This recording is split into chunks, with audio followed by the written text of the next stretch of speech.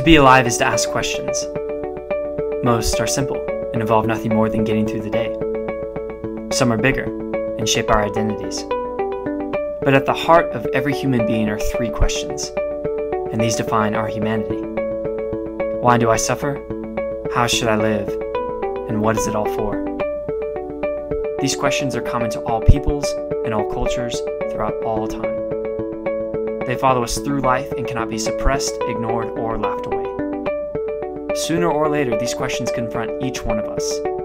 Our own inner being demands an answer to them. Join us this semester as we hear what the Bible has to say about life's greatest questions and how they point us to a God who brings purpose to our pain, wisdom to our ways, and meaning to the measure of our days. Okay, well, welcome back to another solid ground. I'm so glad we are past that winter storm. I thought the brothers last week did an amazing job of accommodating and um, Brian's sharing on uh, man and the two trees and God wanting not a good man, but actually a God man was just so revelationary, so uh, inspiring. And so we're now back to another week on Job. This is actually our last week on um, the book of Job before we go on to Proverbs and Ecclesiastes. And so the topic for this week, uh, you could see the title probably on your outline. It is What is Transformation? What is transformation? And you might wonder, why are we talking about transformation when we come to the book of Job? Well, what we want to see tonight uh, is that this week, uh, this topic, uh, is sort of the answer uh, the second part of the answer to the big question in the book of Job, which is what is the purpose of God in our sufferings? Why do God's people suffer? Well, Alex shared several weeks ago such a good word on God's intention when we suffer is that He would work Himself into us. Job, Job's experience is a step taken by God to show that God wants to remove everything natural that Job boasted in. He wanted to strip him of all of his ethics, his integrity, attainments, and all of his outward blessings so that Job would be ushered into a deeper seeking after God. And then God, Job would, would gain God. And how did we see that in the book of Job? Well, at the end of Job, God comes in to appear to Job in chapter 38, verses 1 through uh, 42. He's got this dialogue. And so, Job, at the end of that dialogue with God, Job responds in this way. He says, This is 42 5. He says, I had heard of you by the hearing of the ear, but now my eye has seen you. So, the difference is, I had heard of you, God, by the hearing of the ear, but now my eye has seen you. I've actually seen you. Therefore, I abhor myself and I repent in dust and ashes. So, what could affect this great change is that Job saw God, and that is a great thing. And as he saw God, he gained God. In the New Testament sense, to see God is to gain God. And tonight we like to add on to that statement as we gain God, we are being transformed by God for God's purpose. So, Seeing God is for us to gain God, and gaining God ushers us into the process of transformation. Transformation uh, is a process, a metabolic process in which a new element is added to us, and then our, our old existing element is replaced metabolically and discharged. And we're changed in form as a result of that change in our inward being. So Transformation uh, is not a very commonly talked about subject among Christians like regeneration is. Uh, regeneration um, is a great miracle. We know that at the outset of every Christian's life, they are uh, saved in an instant, right? It's a wonderful thing that Christ, as life, rushes into them. That's, that happens in an instant. Then at the other end of the spectrum, you have uh, glorification at the end of our Christian experience, uh, Christ will flood even our bodies with his divine life and nature to transfigure our mortal bodies. Will be changed, and we know that happens also in an instant, in the twinkling of an eye. 1 Corinthians 15 says, At the last trumpet, the dead will be raised, and we will be changed. Uh, now, regeneration and glorification happen in an instant, but transformation, you could say, is the, the long tunnel that connects these two uh, events. And so, transformation is not instant, it takes our whole life, and it doesn't uh, directly deal with our spirit, nor does it directly um, involve our body, but it's mainly God spreading in our soul. So I, I hope we can see this.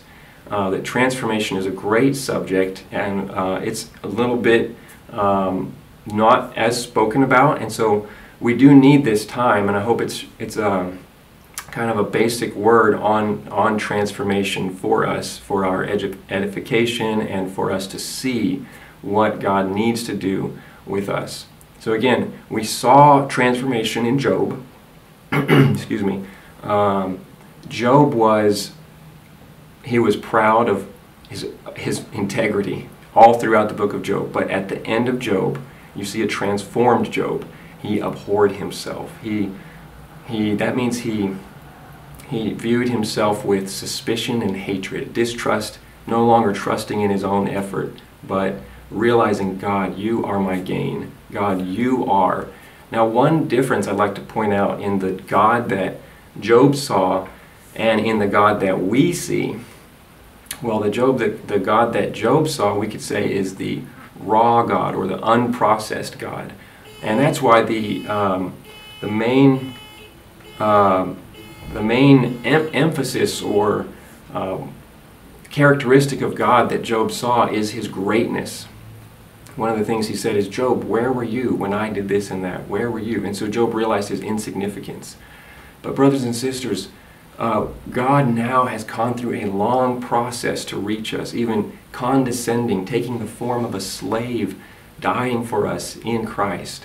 And now we don't, we don't see the raw God. We don't see merely the God in the heavens, but what, like what Paul saw when he looked up to heaven, he saw the, the one Son of Man, Jesus. And Jesus identified the believers on earth with himself. So we see the processed God, the approachable God, the one who's been crucified and raised for us and now lives inside of us. So this is so wonderful.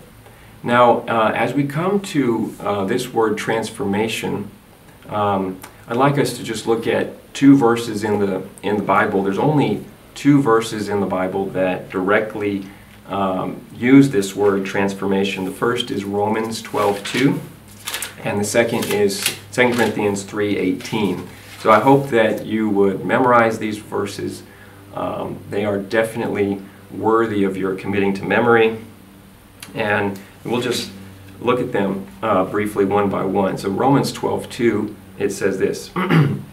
and do not be fashioned according to this age but be transformed by the renewing of the mind, that you may prove what the will of God is, that which is good and well pleasing and perfect.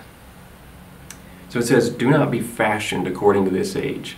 So there's an age that we're all living in, and it's fashioning everyone who lives in this age.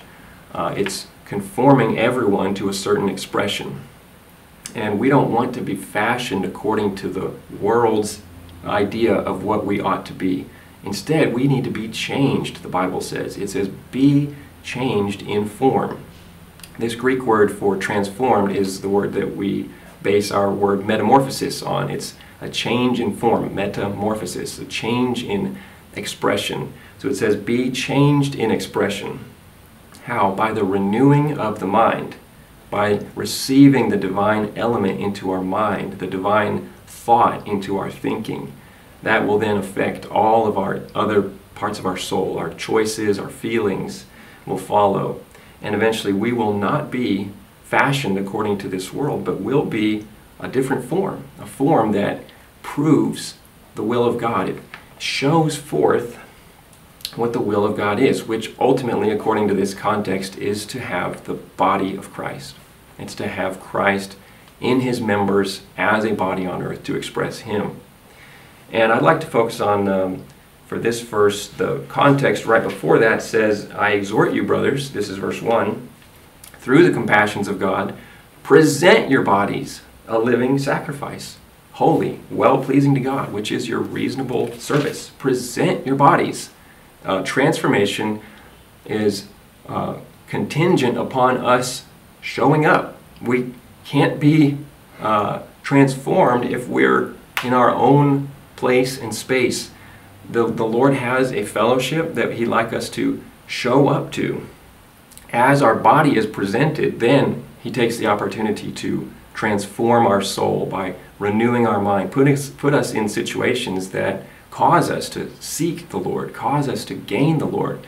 Our gaining of the Lord, like we said before, it brings a new element of the Lord into us, which transforms us. So this is uh, so wonderful that we can experience this. Now, uh, 2 Corinthians 3.18 is the next verse, and that says this. Let me get to it and read it. Um, but we all, with unveiled face, beholding and reflecting like a mirror the glory of the Lord, are being transformed into the same image, from glory to glory, even as from the Lord's Spirit. So we all, again, are being transformed, this time by our beholding the Lord, by our seeing the Lord, just like Job saw the Lord, and then by our reflecting the Lord to others, even. So this has a, a step further that as we receive the divine, you could say, shining, receive the divine infusion, something inwardly happens. It says we're being transformed into the image that we see, into the same image of the Lord. If we express that same image that we see, we're then functioning like mirrors to then behold, to then uh, reflect that image to others. So this is uh, so wonderful that we're participating in this. Uh, now, in the next verse, I'd like to read it. It's the next chapter. It's 4 1, but it's really just the next verse in Paul's thought. And he says, Therefore, having this ministry, therefore, having this ministry, we do not lose heart, as we have been shown mercy. So, Paul says that it is a ministry to participate in the beholding of the Lord and then the reflecting of the Lord to others. So I just, I really like this. If you've ever wondered, how do I participate in the ministry? Well, the ministry Paul's talking about in 4.1 is just this. It's just beholding the Lord and then reflecting the Lord to others like a mirror. Um, I, I feel like if we would spend the time with the Lord to be infused with Him, then when we go into our, even into our Zoom classes or in our, in our apartments, um, or if you have in-person classes or anywhere for, with your family, you can then be a mirror reflecting that image of the Lord to them. Um, and people need that. I was uh, in a, I, I, you might know I have a family member, my son has a medical condition, and I was in a doctor's office on Monday, and um, some of the parents of the other families, they have children with much more dire situations than ours. Over the weeks, we've gotten to know some of them, and this one um, mom came up to me. I've spoken to her several times in the past. She said this time, she said, um, "It's not looking good. We had to put, we had to sign up for hospice care for our three-year-old son, and no parent wants to think about that. Even just recalling it, I'm moved, and I was brought to tears with her, and I just realized, what could I say at this point? And I hope I was expressing something of the Lord to her. I just said something like this. I said, You did nothing wrong. You are passing through a valley right now. I will pray for you. She said, let me have your number. I want to text you so you can get updates about us and pray for us. And I, we are all on earth to minister Christ to those around us. I hope we would participate in this ministry. And the way we do it now as college students is we spend a lot of time with the Lord to behold Him.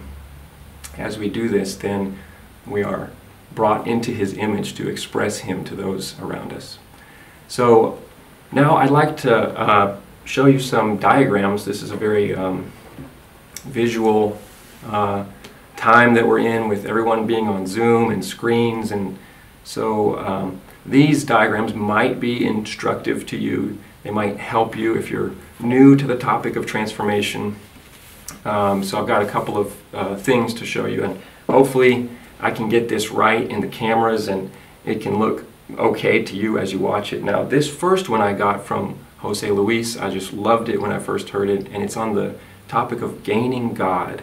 And so transformation begins with Job gaining God. And um, in Job 20, I'm sorry, I've got the wrong slide here.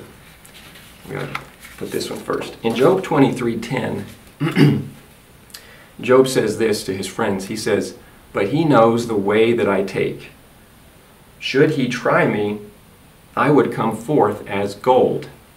So he says, what God is doing is taking me on a way that is like the refining of gold. It's like the fiery uh, oven that gold is brought through so that it's refined, so that you can see something valuable. Well, Job's friends, you know, they heard this. Well, they actually were speaking about this subject and they helped him realize, you know, what would the gold be? What would the gold be that Job would come forth as? Would it be his integrity or his um, self righteousness, which he already had? Is that what he meant? Well, Job's friends helped him realize Job, if you're to be brought forth as gold, it has to be that the Almighty is your gold. The Almighty is your gold nuggets. So in Job 22 25, they said, Job, if you will come back to the Lord, the Almighty will be your gold nuggets to you. And so we might say, well, did they really know what they were talking about? Did, did they actually know about the divine dispensing? And I, I don't think they did, but the divine inspiration of the scriptures allows us to use this to realize for our own sake, since gold represents the divine nature, it represents God, that what we ought to do when we are brought into trials is to gain God. Should God try us? Should He lead us in a way that's like a trial to refine us? Our, by His mercy, our goal by His mercy is, Lord, as I'm in this trial, I want to gain you. And what that, what that might look like in a diagram, I'd just like to show you. So uh, Jose Luis drew this diagram for us, and I'd like to draw it for you or maybe uh, adapt it a little bit, but it starts like this. As you go into a valley, he knows the way that I take. So you go into a deep valley. And then what happens that you don't come out just the same? What happens? Well, it's that he is with you in the valley. According to Psalm 23 20, uh, 4, David said this He said, Even though I walk through the valley of the shadow of death, I do not fear evil, for you are with me. And so, what that looks like is in that suffering, in that trial, God is added to you. And then what? You come forth with more of God as your gold. So, that's how we want to be when we go through trials. Otherwise, it's meaningless. Otherwise, our trials are meaningless. Everyone suffers and goes through trials. But we want in our trials to gain God as our gold so that He is added to our being, and this begins a process of transformation.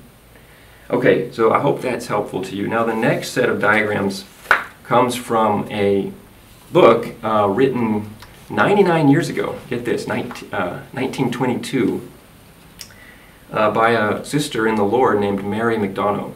And she, she was able to summarize the whole Bible in uh, these simple diagrams, and I've got just a few of them to show you.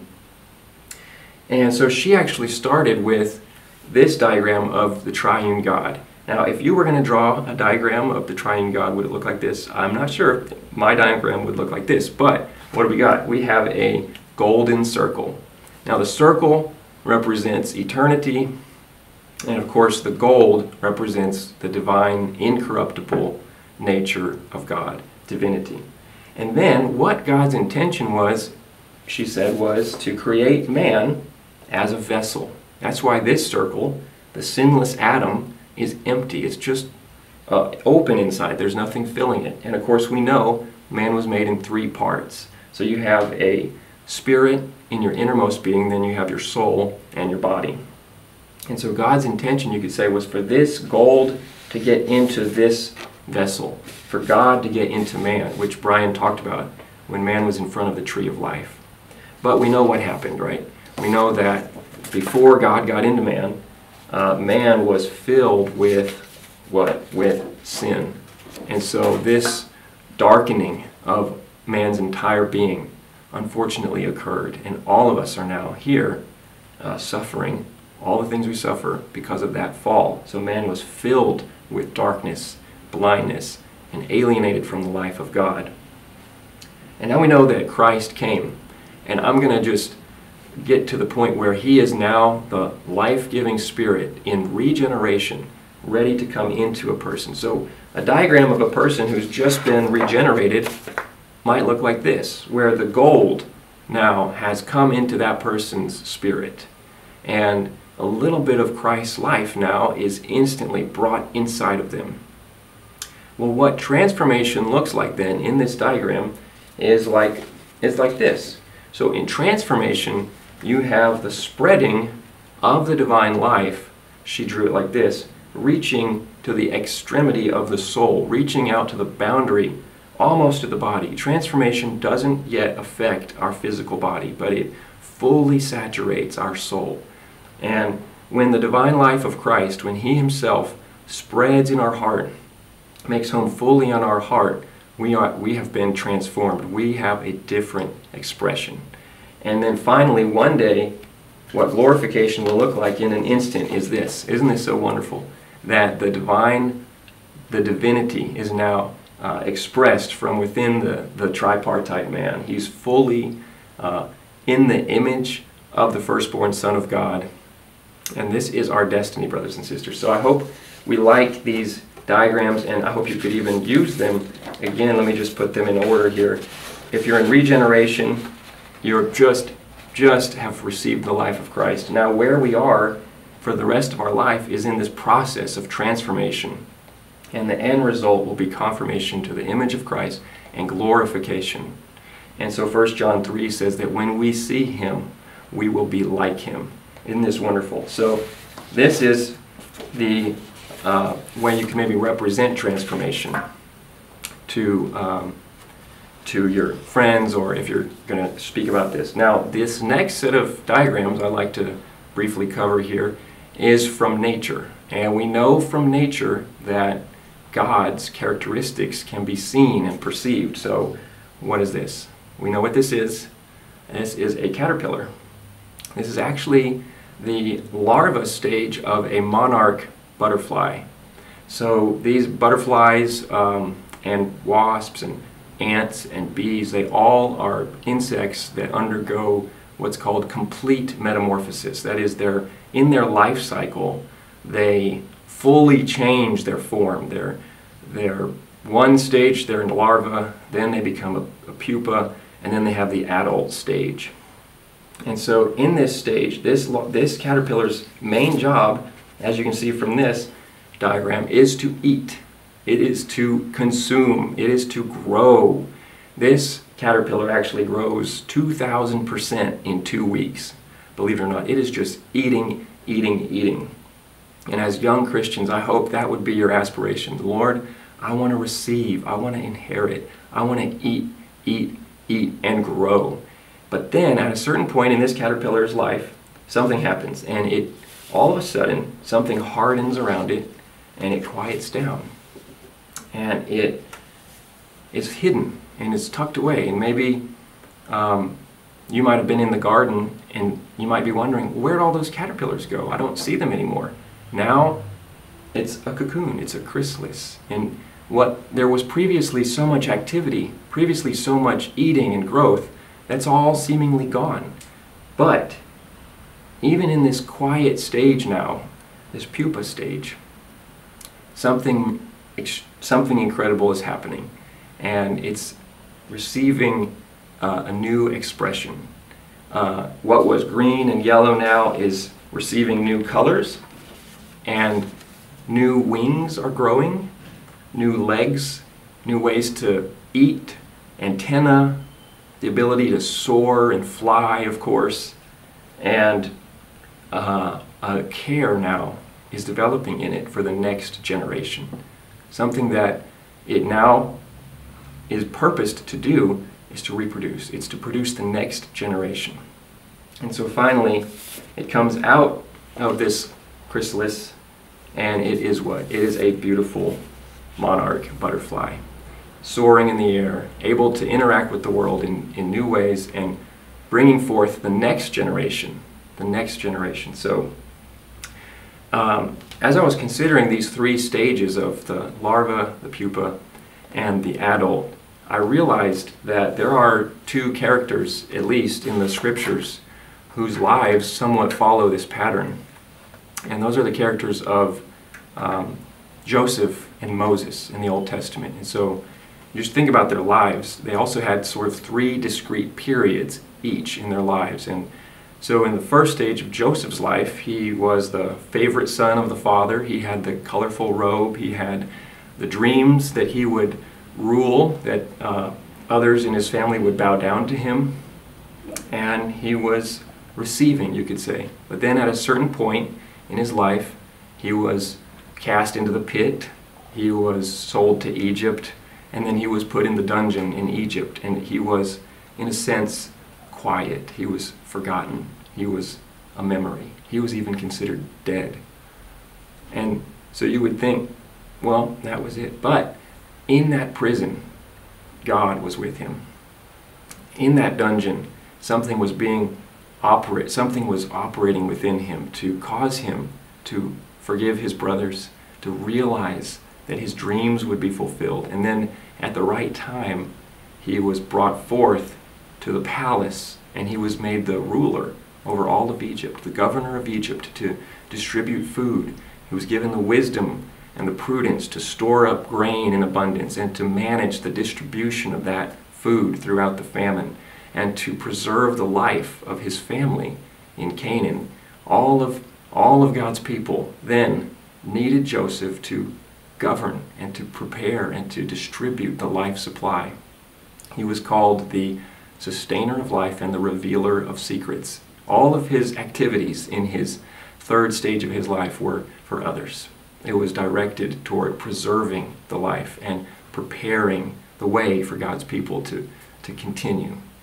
Similarly with, with Moses, he was in his first stage of life, he was receiving. Brought up in the palace of Egypt, raised in all the wisdom and learning of the Egyptians. He was powerful in word and work, just 40 years of receiving, receiving. And then when he was 40 years old, thinking that he was ready now to be the savior of his people, he tried. But they did not approve or acknowledge him. And he then fled to the wilderness. And he was a sojourner.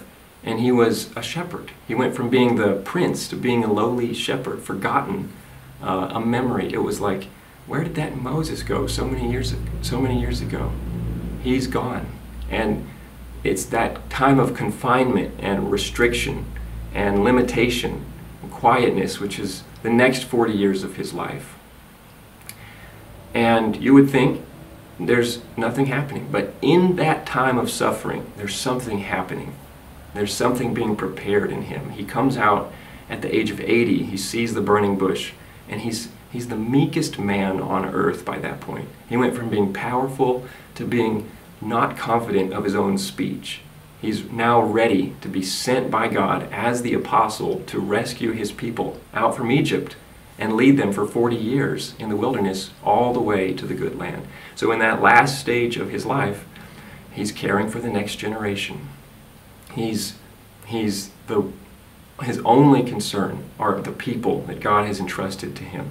So, in both of these cases, Joseph and Moses, we see these three distinct stages of receiving a lot, of enjoying, of inheriting, of growing, of all this revelation coming. And then we see another stage of suffering, of limitation, of being forgotten, of quietness, of confinement.